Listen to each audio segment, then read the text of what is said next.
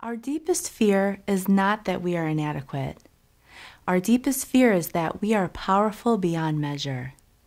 It is our light, not our darkness, that most frightens us. We ask ourselves, who am I to be brilliant, gorgeous, talented, fabulous? Actually, who are you not to be? You are a child of God. Your playing small does not serve the world.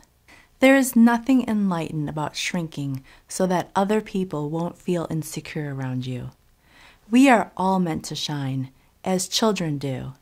We were born to make manifest the glory of God that is within us. It's not just in some of us, it's in everyone. And as we let our own light shine, we unconsciously give other people permission to do the same. As we are liberated from our own fear, our presence automatically liberates others.